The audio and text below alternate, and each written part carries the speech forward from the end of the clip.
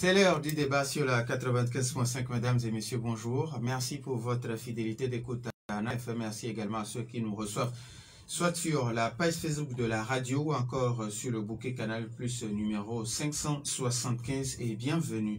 L'automédication est définie comme la prise de médicaments sans avis médical, favorisée aujourd'hui par l'accès facile à l'information et la publicité. Cette pratique tend à se généraliser sans que les concernés ne se doutent des méfaits, voire des risques qu'entraîne l'acte de se soigner seul. Quels sont les dangers de l'automédication? Pour aborder la question, nous recevons Dr Eric Niasounou. Il est médecin-chef de la commune Golfe 7. Docteur, bonjour. Bonjour M. Douadi, bonjour aux auditrices et auditeurs de NAFM. Alors, ces auditeurs auront la possibilité d'intervenir dans ce débat, soit sur la page Facebook de Nana FM ou via téléphone sur le 91 09 71 71 ou le 96 61 58 58 avec Romain Aziablé à la mise en nom. Je suis Norbert Djouri. Bienvenue sur la plus belle dame de une fois encore, merci pour votre fidélité d'écoute à Nana FM. Alors, docteur, je le disais, vous êtes médecin-chef de la commune Golfe 7 et responsable du CMS CB. Je pense que c'est ça. C'est bien ça. Alors, présentez-nous un peu le centre de le, CMS CB. Ok, merci beaucoup. Le CMS CB est une formation sanitaire publique euh, qui a été créée en avril 1974 donc, c'est la seule formation sanitaire publique qui se trouve dans la commune du Golfe 7. Et depuis à peu près un an et demi, nous sommes responsables de cette formation sanitaire. Et cette formation sanitaire offre des services de médecine générale, de maternité, c'est-à-dire les consultations prénatales, les accouchements. Nous vaccinons aussi les enfants, nous faisons aussi la pesée pour les enfants. Euh, nous avons aussi un laboratoire d'analyse médicale.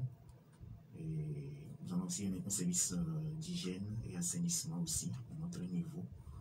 Donc c'est à peu près les offres de services. Et aussi nous avons aussi une pharmacie aussi. Donc ce sont à peu près les offres de services que nous avons au niveau du CMSCB. Alors vous couvrez euh, combien de villages? Nous couvrons 19 villages de, de la commune du Golfe 7. Donc, ce sont ces villages-là que le, le, CMS-CB dessert euh, dans la commune du, Golfe. Je peux citer comme par exemple le, CB, il y a euh, Akato, le village d'Akato, euh, le village de Pédopoué, euh, Clémé, bon, Sagbado aussi. Solution. C'est notre ère de responsabilité, ça. Alors, combien de personnes ou d'agents travaillent sous votre responsabilité? Nous avons à ce jour 43 personnes à notre, qui travaillent dans la formation sanitaire du CB. 43 agents pour 19 villages. C'est pas, c'est très peu. Oui, c'est très peu, mais on y travaille pour que ça puisse augmenter, pour qu'on puisse même augmenter le nombre de formations sanitaires euh, publiques dans, dans, notre zone, parce que, comme je le disais, on est la seule formation sanitaire dans tout le Golfe 7. je pense qu'il y a quand même une faiblesse à ce niveau, qu'on travaille à corriger cela. Alors, quelles sont les difficultés que vous rencontrez Déjà, 19, 43 personnes contre, pour 19 villages, c'est peu. Alors, quelles sont les autres difficultés auxquelles vous vous confrontez tous les jours?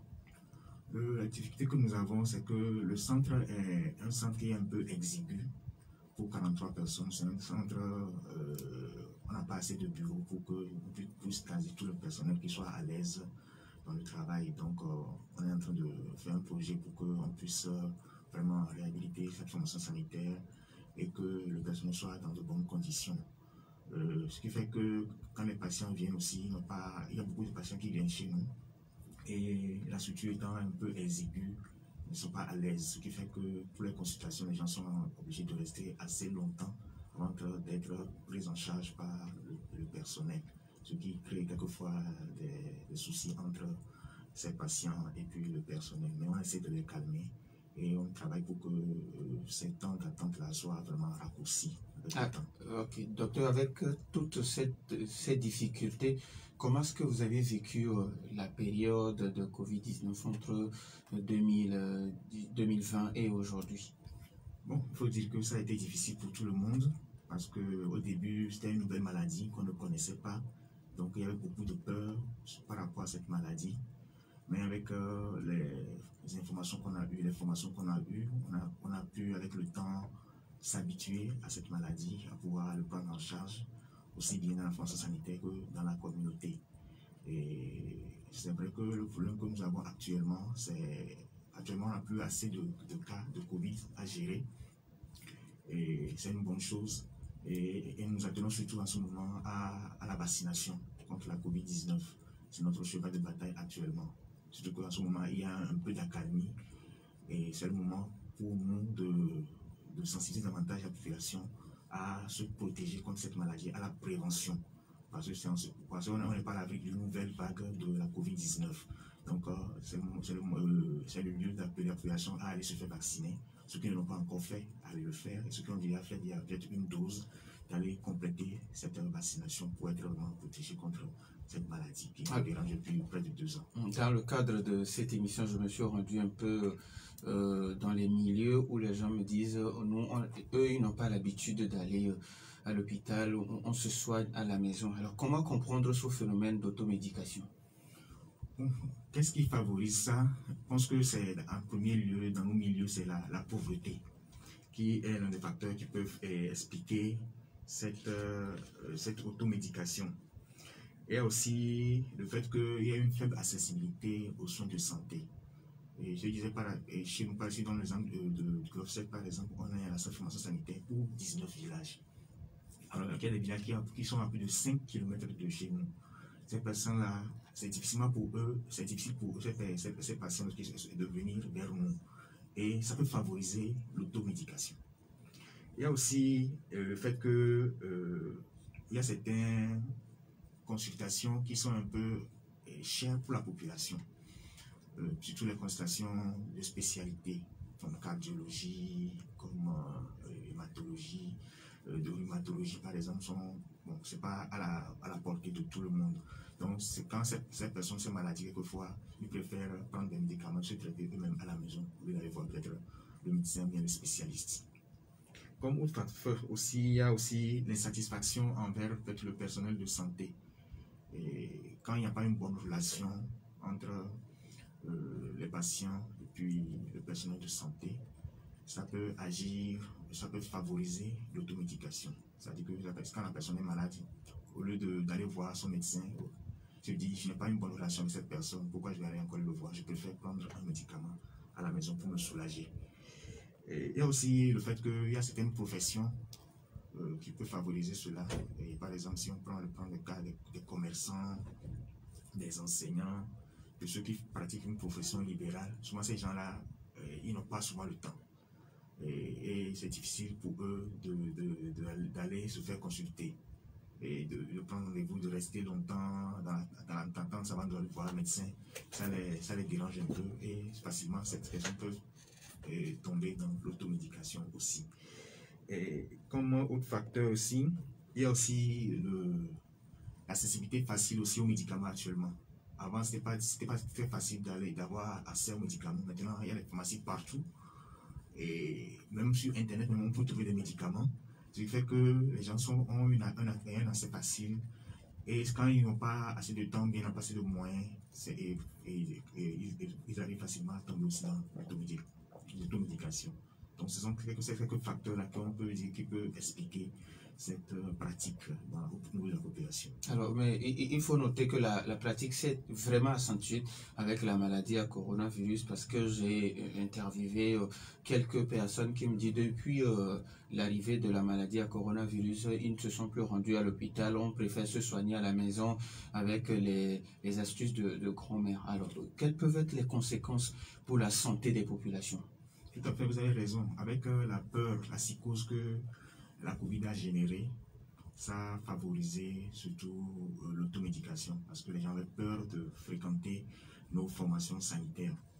Et quand ils sont malades, ils préfèrent prendre quelque chose à la maison au lieu d'aller demander l'avis à un spécialiste. Donc, comme euh, risque pour la population, ce qu'on peut noter, et les risques, à deux niveaux, soit au niveau du plan médical, mais au niveau de la population même. Si on prend au niveau de la population, il y a d'abord le risque de toxicité. Parce que les médicaments, c'est vrai, ça, ça aide à soigner. Mais ça peut, lorsqu'on ne prend pas ça bien, ça peut entraîner des dommages à notre organisme. Donc, on peut être exposé à des insuffisances hépatiques ou bien des insuffisances rénales si on, prend, si on s'adonne à l'automédication. Il y a aussi le manque d'efficacité parce que ces personnes, quelquefois, ne connaissent pas l'indication de, de, ces médicaments-là. Ils les prennent à tort, à travers, et ils n'ont pas l'effet escompté, parce qu'ils ne maîtrisent pas l'indication de ce médicament-là. Il y a aussi le risque de dépendance. Euh, on va développer une addiction à un médicament, surtout, pas les, surtout les médicaments qui, par exemple, les somnifères. Et il y a certaines personnes, lorsqu'ils les prennent avec le temps, ils, ils développent une accoutumance il y a une dépendance. S'ils ne prennent pas ce produit-là, ils ne peuvent pas euh, être à l'aise. Il y a aussi euh, la résistance aux antibiotiques. Parce qu'on consomme beaucoup d'antibiotiques. À moins de choses, moins de malaise, on pense que c'est une infection qu'on a. Donc on se dirige, au lieu de demander un avis médical, on va directement euh, prendre un antibiotique. Et quelquefois, on ne le prend même pas à la bonne dose, ou bien pendant la bonne durée aussi ce qui peut favoriser le développement des résistances. Et c'est vraiment un, fléau actuellement dans le monde parce que le développement des, nouveaux antibiotiques est vraiment lent. Et si on ne fait, pas garde, bientôt, on, le constate déjà, on n'aura plus de médicaments pour traiter vraiment les infections et on, on, s'expose à ce que les maladies infectieuses prennent de l'ampleur dans, dans, le monde, mais dans, le, dans notre pays en particulier. Alors, euh, docteur, euh, à l'école, les, les, choses basiques qu'on nous apprend souvent, c'est nous avons droit à la santé, nous avons droit à l'éducation. Mais on, on, voit que c'est parce qu'il y a défaut de, de ces choses-là. Donc, euh, la population préfère aller se soigner elle-même avec les moyens dont elle dispose. Alors, qu'est-ce qui ne va pas à ce niveau, au niveau surtout de la santé? Bon, au niveau de la santé, je pense que, comme je disais, on n'a pas les gens n'ont pas accès facile aux, soins de santé. Nous savons que à travers, les infrastructures qui ne sont pas bien reparties sur le territoire euh, togolais. Donc, on doit travailler à ce niveau pour qu'on rende plus les, les formations sanitaires plus accessibles aux populations et en créant davantage de formations sanitaires qui soient proches de ces populations et en travaillant à ce qu'il y ait une bonne relation entre euh, les soignants et les patients. Pense que si on a à ce niveau, et on travaille aussi sur l'accès universel aux soins de santé, le gouvernement a mis en place il y a une loi à ce, pour ce, sujet-là, et on travaille afin de, mettre en place des dispositifs pour que soit, soit, soit vraiment euh, euh, mis en œuvre. Et si on arrive à, là, ça va permettre d'avoir une acceptabilité plus grande à la, aux soins de santé et permettre aux populations d'avoir accès à ces soins de santé à un coût vraiment qui est abordable pour eux, qui ne pèse pas sur le, le, sur le ménage et je crois que cela va permettre de diminuer l'automédication. Alors, il y a quelques années, euh, le chef de l'État organisait un sommet sur euh, la lutte contre les médicaments de rue. Alors aujourd'hui, euh, on va prendre votre commune Golfe 7. Quand vous vous promenez, est-ce que la prolifération de ces dames-là qui, qui ces produits, ces médicaments de rue, est-ce que ça, ça diminue ou bien ça augmente? Je ne sais pas, sais pas si ça, ça, diminue bien ça augmente, mais ce qui est sûr, ces personnes sont là. On les voit tous les jours, ils sont partout au bord des rues, euh, même dans les marchés. ces, femmes, ces, femmes, surtout sont ces femmes qui font ces activités-là, vendent euh, ces médicaments-là. Euh, donc, on ne sait pas où elles se sont approvisionnées si c'est vraiment de bonne qualité, on ne, le sait pas. Donc ça, c'est un, phénomène qui persiste, non seulement dans notre commune, mais dans, tout le pays, même dans la sous-région.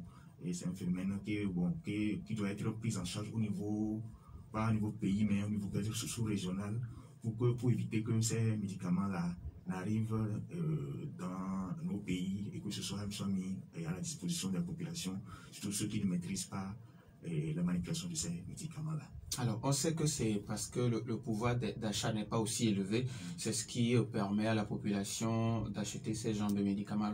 Est-ce que l'État ne peut pas contraindre les pharmacies à vendre certains produits euh, euh, contre le paludisme et certaines maladies de tous les jours, contraindre les pharmacies à vendre à, à prix bas ces produits pour que la population puisse aller se soigner dans les normes? Oui, c'est vrai, c'est une possibilité, mais c'est un peu difficile puisque les, les, pharmaciens aussi, ils, ils, se, ils se produisent des médicaments ailleurs. Ce n'est pas chez nous qu'on produit ces médicaments. Si on produit ces médicaments chez nous, on pourrait agir sur le coût. Donc ces médicaments sont importés d'ailleurs. Donc ça a un coût pour eux. Donc c'est difficile que ces médicaments, on puisse contraindre ces pharmaciens qui, qui font leur commerce de, de, diminuer cela. À moins peut-être que si l'État consent peut-être à leur faire des subventions pour qu'ils puissent certains, certains médicaments qui sont qui vont juste essentiels pour le pays de, de la subvention pour que ce soit à un coût réduit. Quoi, ça se fait déjà, même pour le paludisme. Actuellement, le traitement du paludisme est gratuit au Togo dans les formations sanitaires publiques. Même le test de dépistage pour le paludisme. Donc, l'État fait déjà certains efforts à certains endroits. Mais il reste encore à faire parce qu'il y a d'autres maladies auxquelles on pourrait on faire des subventions qui pourraient aider la population à avoir assez facilement à ces produits au lieu d'aller vers les médicaments de, rue. Donc, c'est une façon globale qu'on doit faire avec l'État, avec les pharmaciens, les médecins, tout ça là, pour voir ce qu'on peut faire à ce niveau, pour que certains médicaments qui sont jugés essentiels pour traiter certaines pathologies qui sont d'ampleur dans le pays, on puisse voir comment faire pour que ce soit un coût qui, fait, qui soit vraiment abordable à la population pour éviter les automédications. Merci beaucoup. Il y a même certaines personnes, il y a des femmes qui se plaignent parce que quand vous allez dans les centres sanitaires où on doit vous donner ces médicaments contre le palio, bon, le traitement n'est pas aussi ça, l'accueil n'est pas aussi ça. Donc c'est à vous, en tant que responsable de, centre médico-social, de, de voir euh, comment il faut mettre les patients à l'aise. Parce que quand la personne vient euh, à votre niveau et le traitement qui lui est dû ne lui est pas, ou bien l'accueil qui lui est dû ne lui est pas réservé, la prochaine fois, je ne pense pas que cette personne peut revenir. Quels peuvent être les dangers de l'automédication? C'est le thème de ce matin. Les auditeurs ont maintenant la possibilité de réagir sur nos deux numéros 91 09 71 71 ou le 96 61 58 58, mais après la pause.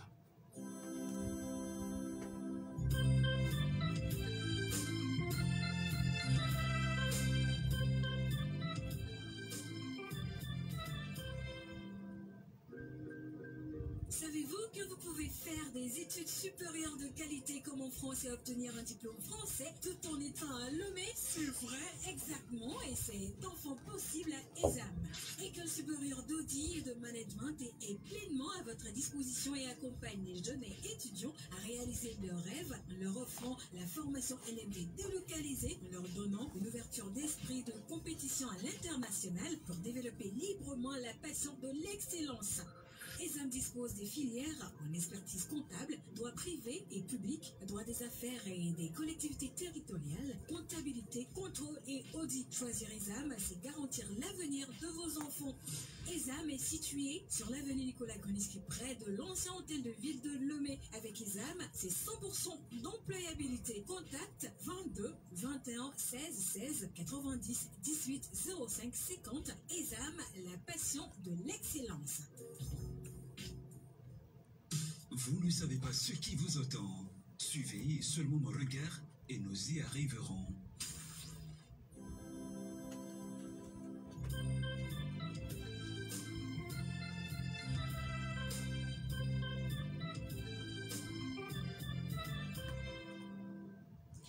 Retour dans le studio de Nana FM 91 09 71 71 ou le 96 61 58 58. Nous avons un premier auditeur en ligne. Nana FM, allô?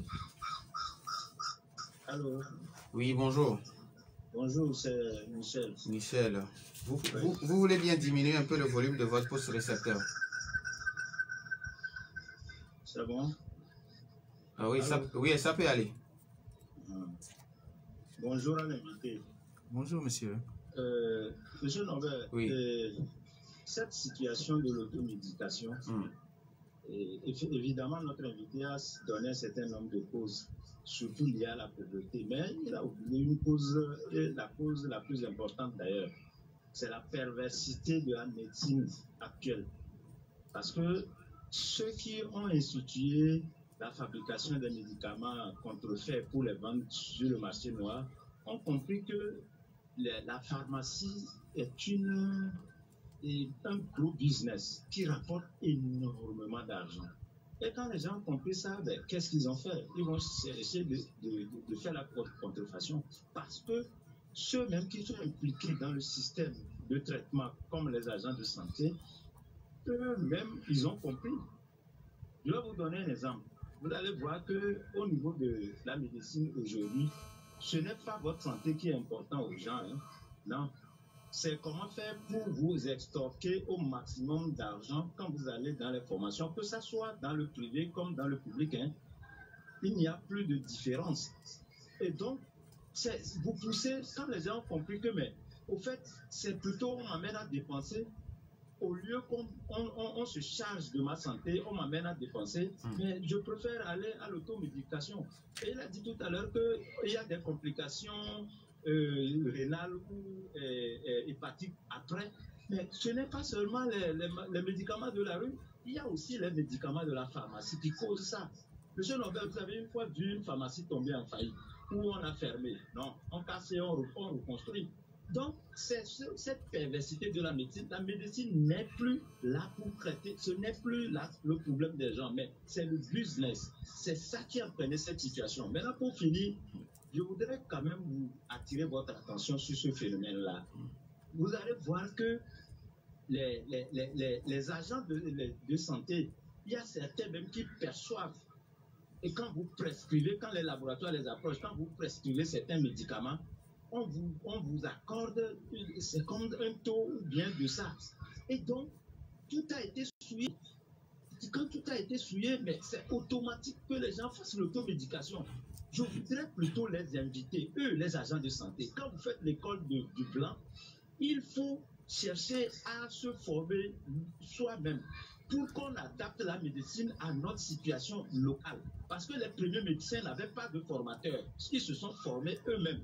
Et donc, après cette expérience, il faut qu'ils se dirigent vers le local pour dire si nous prenons X plante, Y plante, on peut traiter ceci, mais à telle dose? Il ne faut pas qu'ils soient calqués à ce qu'ils ont fait comme formation euh, euh, instu- institutionnalisée. Mer- Merci. Merci à vous aussi, Michel. 91 09 71 71 ou le 96 61 58 58. Nana FM, allô?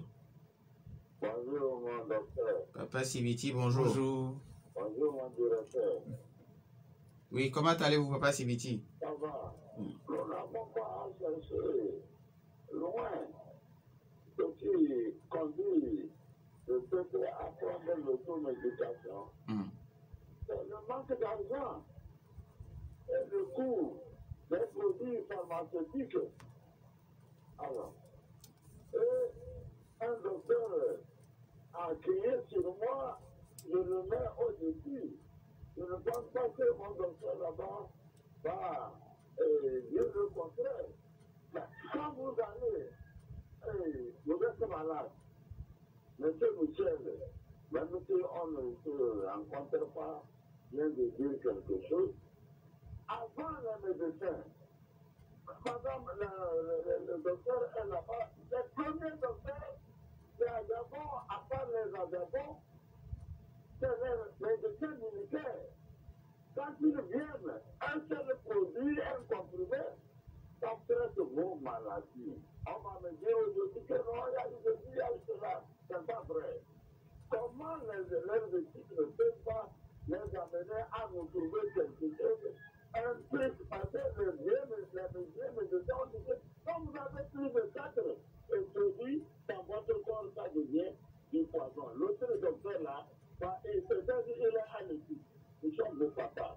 Ce qu'il y a, c'est parce que les gens n'ont pas ça. Les médecins, ils n'ont tout faire pour que les produits pharmaceutiques, l'État, le gouvernement, le président, pour voir si moi j'ai les moyens, le, produit là, à, à, à bas prix. Pourquoi ne pas aller le prendre? Mm. puis c'est éloigné. Il y a l'éloignement aussi. Mon docteur, répondez-nous à toutes ces questions-là. Pour Merci. que nous puissions aller vers vous tous les jours. Trop de euh, médicaments, euh, l'ordonnance est comme un livre. Merci beaucoup. Merci à vous aussi, Papa Sibiti. 91 09 71 71.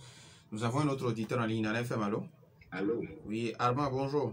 bonjour Norbert, Comment allez-vous? Je me porte très bien. Oui, allez-y. Oui, euh, l'automédication euh, n'est pas vraiment une bonne solution pour nos populations Hmm. Parce que l'automédication, quand on prend surtout les antibiotiques, ça renforce euh, les résistances chez certaines personnes. Mais aujourd'hui, c'est les conditions de vie, c'est-à-dire euh, le, revenu des populations, c'est beaucoup euh, réduit.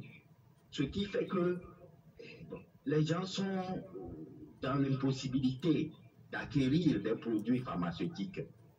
Mais ce que je, me demande, entre-temps, euh, quand moi j'étais plus jeune, il y avait cette histoire d'initiative de Banamako.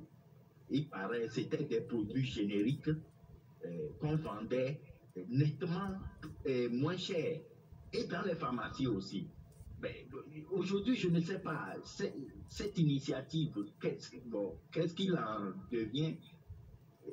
Vraiment, il est très important qu'on puisse un temps soit peu sortir de ce côté mercantile des, des pharmacies. C'est vrai que le ma- pharmacien, c'est un commerçant. Mm. Mais avant d'être commerçant, il, il est appelé à soigner.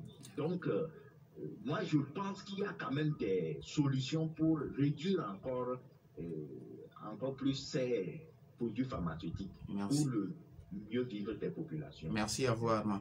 91 09 71 71. euh, Nana FM, allô? Allô, Madame ici, bonjour. bonjour, bonjour. Hmm, Allez-y. Oui, oui. On, on est encore venu nous parler du Covid ou quoi? Non, on parle aujourd'hui de l'automédication, ses conséquences sur la santé. D'accord. Moi, je je- je- encore le fameux là.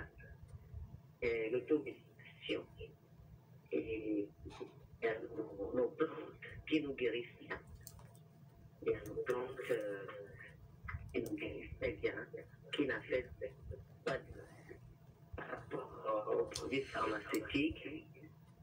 Et, et, voilà. Allô? Oui. Madame ici, est-ce que vous pouvez bouger un peu? Parce que j'ai du mal à vous recevoir D'accord. Hmm, Oui. c'est bon Bon J'ai- Allô? Oui, allô? Oui. Non, ça, ça ne va toujours pas. Vous allez nous excuser, ça ne va toujours pas, mais j'ai compris une partie de, de, de votre question. 91 09 71 71, Madame, et si je suis vraiment désolé parce que j'ai du mal à vous recevoir.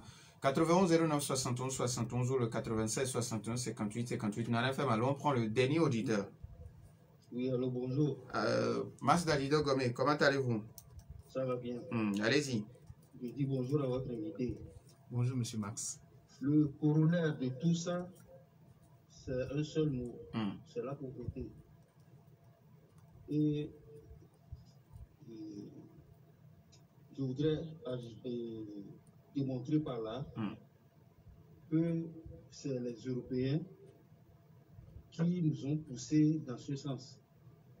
Parce que quand j'étais petit, je me rappelle, quand vous allez à l'hôpital, quand vous, quand vous donnez les médicaments, quand vous partez même à la maison, on vous fait un petit entonnoir avec euh, un papier et on vous mettait les médicaments dedans et on vous donnait rendez-vous pour revenir deux ou trois jours après. Mais avec l'ajustement structurel de la Banque mondiale, qui nous a conseillé de négliger la santé et la scolarité. Ça, c'est pour pouvoir euh, favoriser les pharmacies. Pourquoi?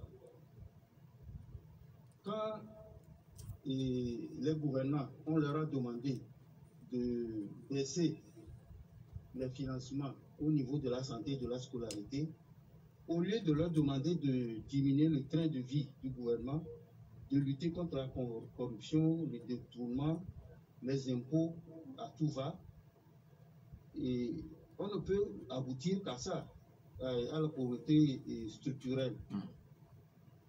Bon, j'ai un peu peur de me faire taper sur les doigts parce que hier, quand je parlais de bon de carburant, il y a un intervenant qui est venu pour dire que euh, les gens sont en train de crier sur le gouvernement. Alors que moi, je ne fais que des propositions, des critiques constructives. Merci. Je ne fais pas de critiques euh, négatives. Parce que quand vous faites une critique et que vous proposez une solution, elle est constructive. Hmm. Merci. Donc, euh, pour ne pas trop monopoliser la parole, Hmm.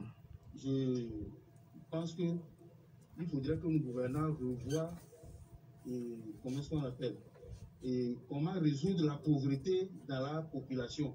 Si Merci. les gens ont les moyens, ils vont facilement aller dans les pharmacies pour se procurer des médicaments. Merci. Merci, bonne journée. Bonne journée à vous aussi. On donne maintenant la possibilité à notre invité de répondre aux préoccupations des uns et des autres. Alors, docteur, vous avez suivi euh, les interventions euh, de nos auditeurs euh, quand euh, on touche beaucoup plus de doigt la, la perversité aujourd'hui de, de la médecine. Alors, vous, vous répondez quoi? Bon, c'est vrai, dans toute corporation, souvent, il y a quelquefois des, des brebis galeuses, des gens qui, qui ne travaillent pas dans une, d'une façon éthique. Je pense que c'est ce problème-là qui est soulevé par euh, le premier intervenant. Mm. Et bon, ce qui est sûr, nous, on continue à sensibiliser nos pères à ce que vraiment on puisse travailler d'une manière éthique, à pouvoir respecter les patients, à pouvoir les prendre en charge comme on nous l'a appris et, comme cela doit se faire normalement, pour qu'on puisse vraiment soigner la relation entre euh, le personnel de santé et nos patients. Parce que quand il y a- une bonne relation, une relation de confiance entre euh, les patients et le personnel de santé, cela va améliorer et la, euh, comment on appelle, la, la- la- venue de ces personnes dans notre formation sanitaire et ça va aussi permettre de diminuer aussi l'automédication. Parce que s'il y, a une- s'il y a une confiance en mon médecin qui me traite, dès que j'ai un problème, je vais le consulter avant de prendre un produit. Mais s'il y a une relation qui est dégradée, on n'a pas confiance en, en, en personnel soignant, cela va agir sur, euh, ça va permettre, va faciliter l'automédication. Alors, quand Michel peut continuer en disant qu'aujourd'hui, l'aspect économique a pris le dessus sur l'aspect humain. Oui, bon, on peut, on peut le dire aussi comme ça, parce qu'on est dans, un monde de consommation. Donc, euh, aussi, les médicaments font partie de cela. Donc, c'est devenu aussi un business. Et bon, on peut comprendre cela, mais euh, l'État fait de son mieux pour que cela ne pèse pas trop sur la population. C'est pourquoi euh, le projet de couverture santé universelle va être implémenté dans le pays pour que on puisse euh, rendre accessible les soins de santé à la population à un coût qui soit vraiment à- accessible, abordable pour la population. Parce qu'on sait que la pauvreté qui est souvent la base, de, euh, le facteur vraiment qui favorise, qui est vraiment prépondérant dans l'automédication. Donc si on arrive à pouvoir avoir des soins de santé à un, moins, à un coût qui, est, qui soit abordable pour la population, cela va nous aider à pouvoir lutter véritablement contre l'automédication. Alors, Mi- Michel, toujours qui parle d'adapter la médecine actuelle à nos réalités, euh, sa préoccupation rejoint euh, celle de Madame Essie qui pense que avec les plantes, on peut se soigner aisément. Oui, c'est vrai. Avec les plantes, on peut se soigner aisément aussi, ça c'est prouvé. Mais c'est que souvent, on n'a pas des données vraiment scientifiques qui, qui sous-tendent cela. On sait que on, prend telle, telle plante, ça peut s'aider à, à traiter telle chose. Mais comment, à quelle dose et pendant quelle durée? Souvent, on n'a pas cette donnée-là. Donc, on doit continuer à travailler dans ce sens pour avoir cette donnée. Et je crois que ça sera, et ça vulgariser la médecine traditionnelle davantage. Et il y a aussi, il a de l'Institut de Bamako. Oui, c'est vrai que c'est les. On, on nous dit de, de prescrire beaucoup plus les génériques qui sont à un coût vraiment abordable à la population. Mais malheureusement, il n'y a pas tous les médicaments qui sont, qui sont sous forme générique à, pour la population. Et aussi, les personnes qui refusent de prendre des génériques parce qu'ils se disent que c'est qui ne sont pas de qualité inférieure par rapport aux médicaments qui viennent de l'Europe, qui sont bien emballés. Alors que ce que souvent les génériques qu'on a, ce sont de plaquettes, ce n'est pas dans des boîtes. Donc il y a certaines personnes qui doutent ces- de ces produits-là et n'arrivent pas à les prendre. Mais quand même, on doit travailler à ce que, à rendre davantage plus accessible le coût de ces médicaments à la population pour diminuer. N'est-ce pas euh, un manque d'information parce que les gens ne sont pas bien informés que le médicament qui est venu d'Europe et le, les, les- le produit du générique, c'est la même chose? Bon, ça peut être ça aussi, mais quelquefois on leur explique que ces médicaments qui sont sur nos plaquettes seulement et ceux qui sont emballés, c'est le même produit qu'il y a dedans. Mais certaines personnes, ils ils préfèrent prendre, c'est ce qui vient de l'Europe là. C'est vrai dedans, ce qu'on vend en Afrique, c'est pas la, qualité. Donc il y a, cette image-là que les gens ont dans la tête qu'il va falloir déconstruire pour qu'ils puissent vraiment accepter les médicaments génériques qui sont autant efficaces que les médicaments qui sont bien emballés, qui viennent euh, de, de l'extérieur. Alors aujourd'hui, euh, les gens militent pour que et la médecine traditionnelle et euh, la, la, la, médecine euh, actuelle puissent travailler ensemble. Alors vous, dans ce cas, surtout au niveau Togo, qu'est-ce qui se fait? Oui, je sais qu'au niveau du ministère, il y a euh, un département qui s'occupe de la médecine traditionnelle, qui travaille déjà avec les, médecins, les, médecins, les praticiens de la médecine traditionnelle et les médecins conventionnels. Donc il y a, il y a une collaboration qui, qui, qui, naît, qui naît déjà. Même dans ma commune aussi, on a, cette, on a, on a cela. Souvent, je travaille, je discute avec les de médecine traditionnelle qui viennent avec moi, qui viennent chez moi, on discute ensemble pour voir comment on peut collaborer ensemble pour le bien de la population. Donc, je pense que c'est ça des choses qu'il faut encourager et renforcer afin que vraiment on puisse et utiliser vraiment nos plantes, les, plantes que nous avons sur le territoire, les, vulgariser afin qu'on puisse profiter davantage à la population. Alors, il y a Michel, le premier auditeur toujours qui a touché du doigt un aspect très important où il y a les firmes pharmaceutiques qui abordent certains agents de santé en leur disant quand vous prescrivez ce genre de médicaments à vos patients, vous avez de tels pourcentages. Alors, c'est comme si euh, la corruption existe maintenant partout. Malheureusement, ça existe. C'est vrai, qu'il y a des cas comme ça qui existent, mais on, fait de notre mieux pour, euh, ne pas encourager cela, parce que ce n'est pas, pas des bonnes pratiques. C'est une pratique qui n'est pas éthique, comme je le disais tout à l'heure. Donc, il va falloir qu'au niveau de personnes de santé, même, on, soit d'abord, on, on, mette l'éthique au devant. On ne met pas l'argent euh, au devant et qu'on cherche d'abord, comme on l'a dit dans notre serment, d'abord le bien de la, de, la santé du patient doit être notre première préoccupation. On ne peut pas mettre en avant le, le gain financier ou bien matériel que cela notre position pourrait nous procurer. Alors, docteur, dans tout ça, quelle doit être la solution? Parce que euh, les autres auditeurs, que ce soit Papa Sibiti, Armand, euh, Masdarido Gomé, on parle beaucoup plus de la pauvreté parce que c'est aujourd'hui euh, le pouvoir d'achat du Togolais n'a pas aussi élevé, donc cela ne lui permet pas d'aller acheter ses produits euh, à la pharmacie. Quelle doit être aujourd'hui la solution? La solution, c'est de mettre en place, comme je l'ai dit tout à l'heure, une couverture santé universelle à toute la population. Pour le moment, ce n'est pas tout le monde qui est couvert par la pression sociale au niveau de la santé. Donc il va falloir que tout le monde, surtout la population qui est la moins, qui, est, qui est la plus pauvre, puisse, puisse avoir accès facile aux soins de santé et à un coût qui soit abordable pour qu'ils ne soient pas obligés de mettre euh, le, faible, le faible moyen qu'ils ont, qu'ils recueillent à la fin de chaque mois pour traiter les problèmes de santé mais plutôt qu'ils aient, qu aient, assez de moyens pour pouvoir investir dans d'autres domaines qui pourraient le, les aider à pouvoir sortir de la pauvreté. Donc, euh, je pense que si vraiment euh, cette couverture santé universelle est mise en place rapidement dans notre pays, ça pourra aider véritablement à soulager, un tant soit peu, les populations les plus vulnérables de notre pays et pouvoir réduire vraiment efficacement euh, cette automédication. Alors, euh, il y a un de nos auditeurs euh, qui demande quelles sont les maladies qui sévissent vraiment euh, au niveau de votre commune? Et puis qu'est-ce que vous faites pour trouver une solution?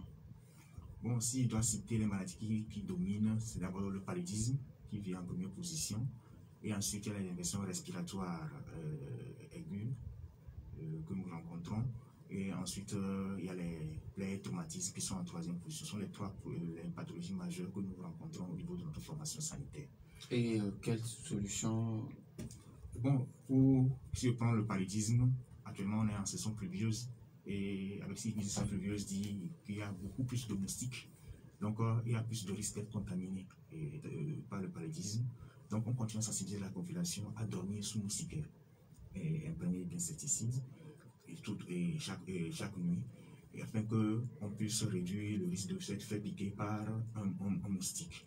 Et aussi, lorsque on a des symptômes qui font penser au paludisme, il faut rapidement se rendre au centre de santé le plus proche pour se faire tester, pour voir si c'est vraiment le paludisme ou pas. Et les tests de diagnostic du paludisme actuellement sont gratuits dans notre formation sanitaire. Et aussi, quand le test est positif et qu'on trouve que vous avez le paludisme, vous avez aussi un traitement qui est aussi gratuit. Donc, euh, on n'a pas de raison de, de, ne pas aller vers l'hôpital pour se faire traiter dans ces cas-là. Et vous promettez ici que l'accueil sera meilleur, ce que les gens connaissent déjà. Oui, oui, on va, on va, on va essayer de nous améliorer à ce niveau. On sait qu'il y a des manquements, on ne, on ne, le nie pas, mais on va continuer à travailler pour que ça, ça puisse changer, ça puisse s'améliorer. Docteur, merci. Il nous reste pratiquement une minute. Si vous avez un message, surtout appeler les gens à la vaccination parce que euh, ça continue toujours, surtout, surtout contre pardon, la, la COVID-19. Oui, tout à fait.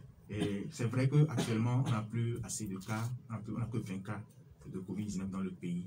Mais ça ne veut pas dire que la maladie est totalement partie. Et, puisque dans certaines zones du monde, il y a encore une résistance de cette maladie.